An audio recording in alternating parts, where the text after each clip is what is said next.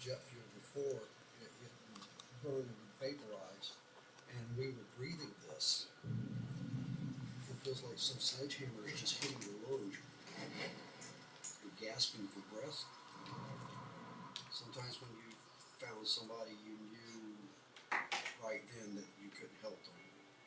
So you try to triage as quick as you can on the go. If you hurt somebody else, you let that person Mochi, Mochi, Come on.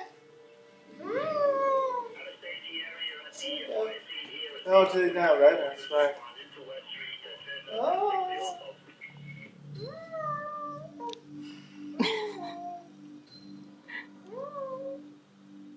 there were five people with